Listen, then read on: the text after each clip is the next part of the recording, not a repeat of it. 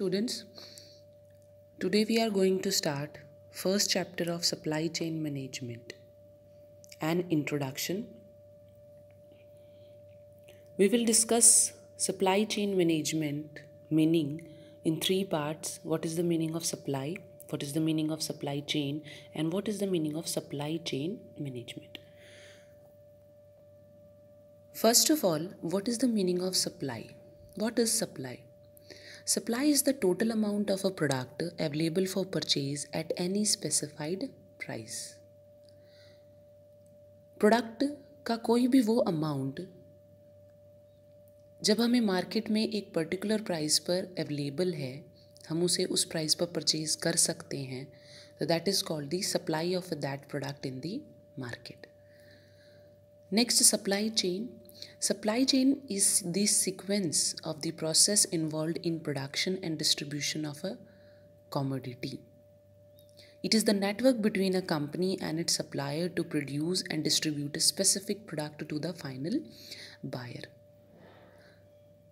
Means वो सारे के सारे स्टेप जो एक पर्टिकुलर प्रोसेस क्रिएट करते हैं जब हम प्रोडक्ट को हमारे फाइनल कस्टमर तक पहुंचाते हैं तो उस पूरी चीज़ पूरे के पूरे प्रोसेस को हम क्या कहते हैं? Supply chain next is supply chain management supply chain management अभी हमने कहा कि वो सारे के सारे सीक्वेंस या सारे के सारे जो प्रोसेस है, जिसमें अलग अलग स्टेप्स इन्वॉल्व हैं, जिसमें हम हमारे पर्टिकुलर प्रोडक्ट को फाइनल बायर तक पहुंचाते हैं, उस पर्टिकुलर चेन को मैनेज करना, उन सारी एक्टिविटीज़ जो एक दूसरे से रिलेटेड हैं जहाँ पर हमारा जो प्रोडक्ट है वो स्टार्ट होता है प्रोडक्शन से एंड यूज़र तक पहुँचता है। ठीक है इंफॉर्मेशन फ्लोज होती हैं। वो सारी की सारी एक्टिविटीज़ को हम इकट्ठा करते करते हैं और उसे मैनेज कंट्रोल करने की कोशिश करते हैं, उसे इम्प्रूव करने की कोशिश करते हैं। उसे हम कहते हैं supply chain management so what is the definition of supply chain management According to Harland, supply chain management is the management of network of interconnected business involved in the ultimate provision of a product and service package required by the end customer. Means क्या कहना चाह रहे हैं कि supply chain management एक management है उन सारी एक्टिविटीज़ का उन सारे इंटरकनेक्टेड बिज़नेस का जो पर्टिकुलरली किस चीज़ के लिए काम कर रहे हैं किस फो, किस फोकस के लिए किस एम के लिए काम कर रहे हैं ताकि जो प्रोडक्ट है जो सर्विस है वो हमारे एंड कस्टमर तक पहुँच सके। सप्लाई चेन मैनेजमेंट बेसिकली धीरे धीरे डेवलप हुआ। अर्लियर फेसेस में अगर हम बात कर लें या शुरुआत के दौर में अराउंड नाइनटीन फोर्टीज़ और फिफ्टीज़ में बेसिकली है बेसिकली जो ध्यान होता था कंपनीज़ का वो लॉजिस्टिक्स बेसिस होता था। यानी कि आपकी मेन फोकस होता था कि किस तरह से आप लेबर इंटेंसिव प्रोसेस है, उसको ज़्यादा से ज़्यादा इम्प्रूव कर पाएँ ताकि मटेरियल हैंडलिंग है। क्योंकि बेसिकली उस टाइम ज़्यादा लेबर यूज़ होती थी। तो मटेरियल हैंडलिंग हम उनके थ्रू कैसे यूज़ कर सकते हैं? किस तरह से हम ज़्यादा से ज़्यादा स्पेस को यूज़ करें वेयर हाउसेज़ को इस तरह से डिज़ाइन करें कि उनका मैक्सिमम यूटिलाइजेशन हो सके। लेटर ऑन 1960 पर जो मेन फोकस था वो गया टाइम के ऊपर। कि भाई किस तरह से टाइम डिपेंडेंट जो ट्रांसपोर्टेशंस है, जैसे कि हमें फटा मतलब काफ़ी जल्दी जल्दी फटाफट कोई सामान एक जगह से दूसरी जगह पहुंचाना है। कि जैसे कि हम लोग ट्रक्स का ज़्यादा यूज़ करने लगे जो टाइम कंज्यूमिंग ना हो। दैट मीन्स उस टाइम ज़्यादातर time dependent that means time factor को ध्यान में दिया गया। नाइनटीन सिक्सटीज़ में लेटर ऑन कंप्यूटराइजेशन पर भी काफ़ी ज़्यादा ध्यान दिया गया था, जिससे हम इन्वेंट्री मैनेजमेंट अच्छी तरह से कर सके।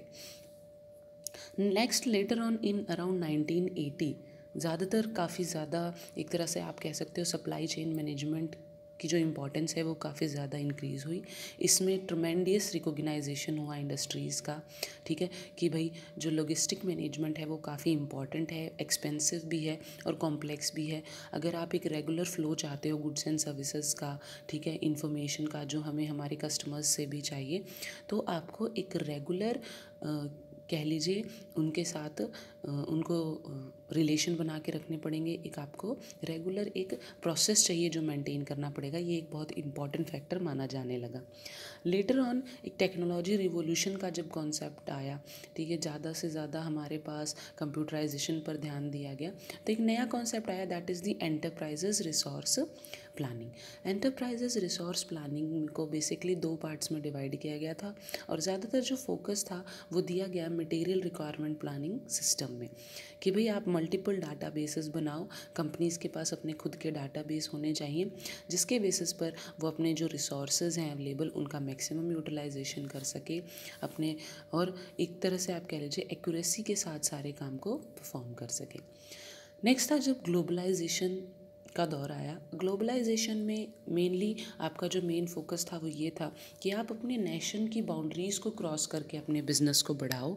तो इसलिए जो ग्लोबल सिस्टम्स थे, यानी कि रिलेशनशिप्स के ऊपर बहुत ध्यान दिया गया कि जो सप्लायर्स हैं नेशनल एंड इंटरनेशनल कहते हैं अदर कॉन्टिनेंट्स में, उनके साथ अच्छे रिलेशंस बने सप्लाई चेन्स को एक्सपेंड करने की कोशिश की गई।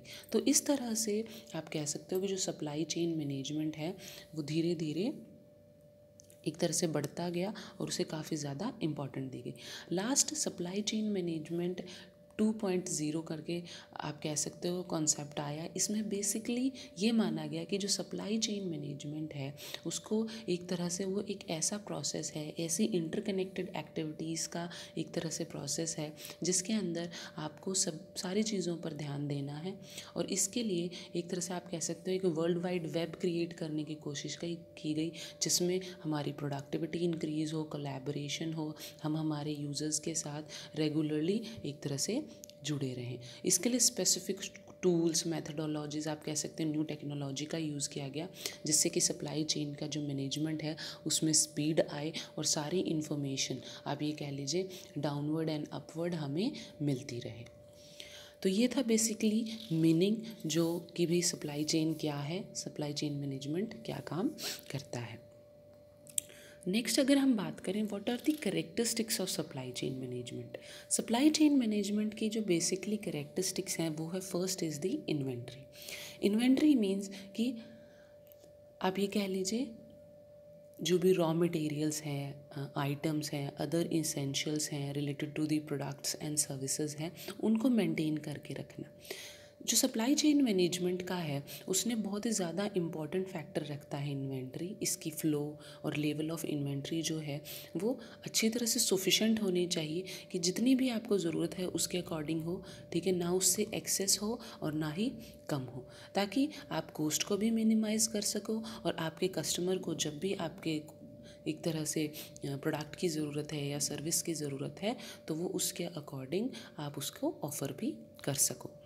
Next is the cost cost आप कह सकते हो, कोई भी सप्लाई चेन मैनेजमेंट हो, उसका एक तरह से कह लीजिए मेन एम होता है कि वो कोस्ट को आप की तरह से मिनिमाइज़ करें विथ एफिशिएंसी यानी कि एक एफिशिएंट लेवल भी आप मेंटेन कर रहे हो और साथ में आप कोस्ट को भी मिनिमाइज़ करने की कोशिश कर रहे हो।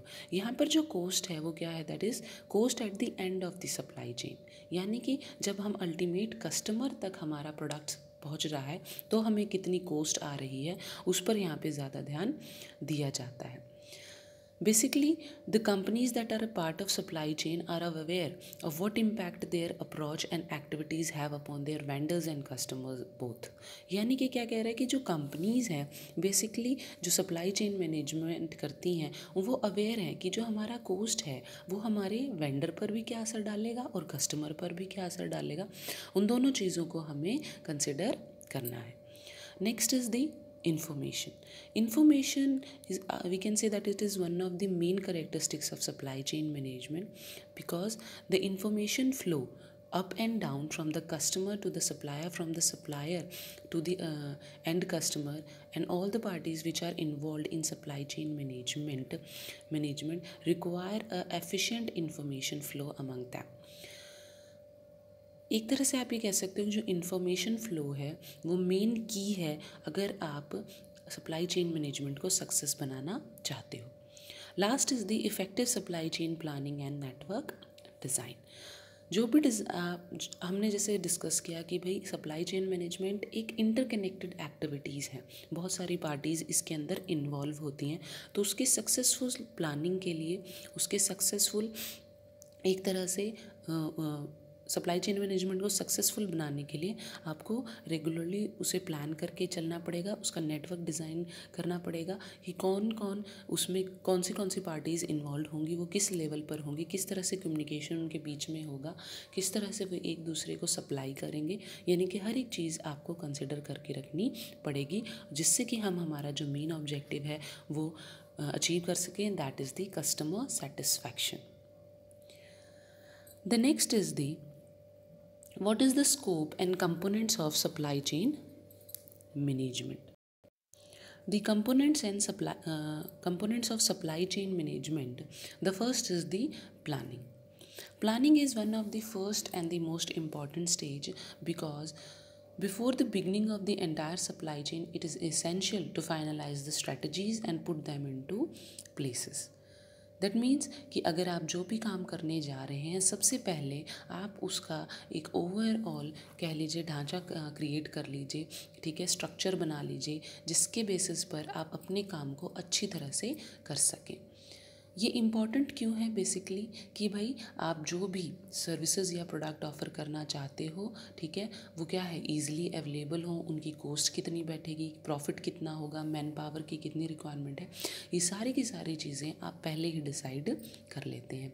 The next is the sources sources here means the supplier who will deliver the goods and services to for the final production और टू द कस्टमर इसमें एक तरह से ये डिसाइड किया जाएगा कि हमारे सप्लायर्स के साथ हमारा लेन देन कैसा होगा। हम किस तरह से प्राइस को सेट करेंगे उनके साथ उनके साथ हमारा डिलीवरी और पेमेंट का क्या प्रोसेस होगा, वो हमें एक तरह से क्लियर होना चाहिए, जिससे कि हम हमारे गुड्स और सर्विसेज़ की जो फैसिलिटीज़ हैं, उन्हें हम आसानी से या कह लीजिए, हम उन्हें ईजिली उन्हें डिलीवर कर सकें, उनकी शिपमेंट हम अच्छी तरह से कर सकें, हम ट्रांसफ़र उन्हें अच्छी तरह से कर सकें और एक तरह से पेमेंट है, वो भी एक अच्छे ढंग से हो सके। The next is the production production भी basically the main activity from where the whole the process starts अगर हम ये कहना चाहें कि भाई प्रोडक्शन के अंदर भी क्या क्या आप प्रोडक्ट कैसे प्रोडक्शन कैसे करोगे? ठीक है, क्या शेड्यूल होगा? कौन से कौन से मटेरियल्स यूज़ हो रहे हैं? ठीक है टेस्टिंग कैसे होगी? पैकेजिंग कैसे होगी? डिलीवरी कैसे होगी? ये सारी की सारी चीज़ें यहाँ पे बहुत ही इंपॉर्टेंट है। क्योंकि प्रोडक्शन ही हमारा मेन हमारा जो है प्रोडक्ट को तैयार करेगा और उसमें हमें ये भी डिसाइड करना पड़ेगा कि क्वालिटी लेवल्स क्या होंगे। ठीक है लेबर की प्रोडक्टिविटी कितनी होनी चाहिए ताकि हमारा जो आउटपुट है वो सही समय पर रेडी हो सके। तो इसलिए प्रोडक्शन को भी एक तरह से आप कह सकते हो सप्लाई चेन मैनेजमेंट को अगर आपको सक्सेसफुल बनाना है तो प्रोडक्शन एक मेन फैक्टर है। Next is the location location हर एक बिज़नेस के लिए इंपॉर्टेंट है, अगर वो अच्छी तरह से सर्वाइव करना चाहता है, क्योंकि अगर एक सुटेबल लोकेशन आपकी होगी, आप वेल कनेक्ट होगे अपने सोर्सेज के साथ ही मीन सप्लायर के साथ, ठीक है तो आपका प्रोडक्शन भी अच्छी तरह से हो पाएगा, आपको मैन पावर भी ईजिली अवेलेबल होगी तो आपका जो प्रोडक्शन है वो बहुत ज़्यादा अच्छी तरह से चलेगा। तो लोकेशन भी एक इंपॉर्टेंट फैक्टर है। Next is the transportation transportation basically आपका एक कोऑर्डिनेशन की बात करता है between the receipt of the order from the customer and then developing a network of the warehouses transporting the products यानी कि आप एक तरह से ऑर्डर रिसीव कर रहे हो, ठीक है? फिर वेयर हाउसेज में वो प्रोडक्ट्स आपने कहाँ स्टोर किए हैं, जहाँ पर वो प्रोडक्शन के बाद रखे गए हैं, किस तरह से उसे डिलीवर किया जाएगा। ठीक है इन्वॉइस सिस्टम क्या होगा पेमेंट किस तरह से रिसीव होगी, इन सारी चीज़ों के ऊपर बेसिकली ध्यान दिया जाता है ट्रांसपोर्टेशन के अंदर। और मेन फैक्टर यहाँ पर क्या होता है टाइम की सारी एक्टिविटीज़ है within a particular period of time में ये सारी की सारी चीज़ें हैं जो पूरी हो जाएँ और हमें जो डैमेजेस हैं, ठीक है इन ट्रांसिट जो हमें लॉसेस होते हैं, वो भी हमारे कम हो। The last is the return of the goods कई बार क्या होता है कि हमारे जो कस्टमर्स हैं मे बी वो हमारे गुड्स के साथ सेटिस्फाई नहीं हैं। तो उसके बाद जो आप कह लीजिए रिवर्स फ्लो जो होता है गुड्स का, वो किस तरह से होगा? उसमें क्या क्या आप कह लीजिए स्टेप्स होंगे? किस तरह से उस डिफेक्टिव प्रोडक्ट है? या फिर आप कह लीजिए उस प्रोडक्ट में बेसिकली क्या प्रॉब्लम है? तो हम हमारे कस्टमर को किस तरह से सपोर्ट प्रोवाइड करेंगे, वो चीज़ भी आपकी सप्लाई चेन मैनेजमेंट में गिवन होती है। इसके अलावा एक दो चीज़ें और होती हैं, जैसे कि कस्टमर सर्विस मैनेजमेंट जिसमें आप कस्टमर्स के साथ अच्छे रिलेशन बनाने के रिलेशनशिप करने के लिए मैनेजमेंट करते हो, कुछ रिड्रेसल कमिटीज़ करते हो, भी उनसे फीडबैक लेते हो, ठीक है? ऑर्डर की जैसे डिलीवरी हुई, मनी कैसे कलेक्ट किया जाएगा तो ये सारी चीज़ें भी सप्लाई चेन मैनेजमेंट में आती हैं। इसके अलावा प्रोडक्ट डेवलपमेंट एंड कमर्शलाइजेशन भी आप यहाँ इंक्लूड कर सकते हो, जिसमें प्रोडक्ट से रिलेटेड डाटा को किस तरह से मैनेज करना, प्रोडक्ट लाइन की डेवलपमेंट, प्रोडक्ट को लॉन्च करना, सप्लाई करना, कस्टमर का सेटिस्फैक्शन, प्रॉफिट मार्जिन, ये सारी चीज़ें भी हम इन सप्लाई चेन मैनेजमेंट में इंक्लूड करते हैं। इसके अलावा फ़िज़िकल डिस्ट्रीब्यूशन है मैनुफैक्चरिंग सपोर्ट एंड प्रिक्योरमेंट, कि भाई आप इसमें आप एंटरप्राइजेज रिसोर्स प्लानिंग इंक्लूड कर सकते हो। अभी कंपनी के पास कितने रिसोर्सेज हैं? किस तरह से फ़िज़िकल डिस्ट्रीब्यूशन होगा? वेयर हाउसेज मैनेजमेंट कैसे होगा? प्लानिंग कैसे होगी? ह्यूमन रिसोर्स की मैनेजमेंट कैसे होगी? मटेरियल की प्लानिंग कैसे होगी? यानी कि आप कह सकते हो कि जो सप्लाई चेन मैनेजमेंट है, उसका स्कोप है, उसके कंपोनेंट्स हैं, वो काफ़ी ज़्यादा वाइड हैं। इसमें बहुत सारी चीज़ें इंक्लूड करनी होती हैं, पड़ती हैं। और सप्लाई चेन मैनेजमेंट को अगर आप सक्सेसफुल बनाना चाहते हो तो ये सारी एक्टिविटीज़ आपको फॉलो करनी पड़ती हैं।